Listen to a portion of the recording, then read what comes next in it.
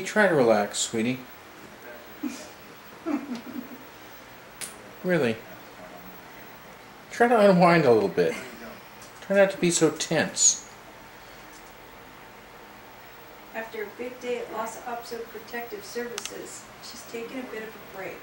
She's here with her she's here with her her bee, her poo bee, which I'm surprised isn't on the floor. And there she is on her little throne. The queen bee. Hi, beloved.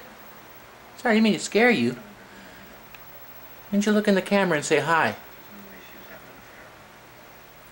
Are you pretty tired? I'm poop out, Dad.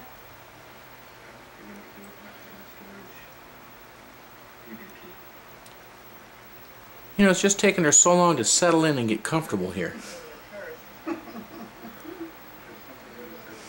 Poor girl. Poor B. Alright, B, see you later. Try to relax, okay?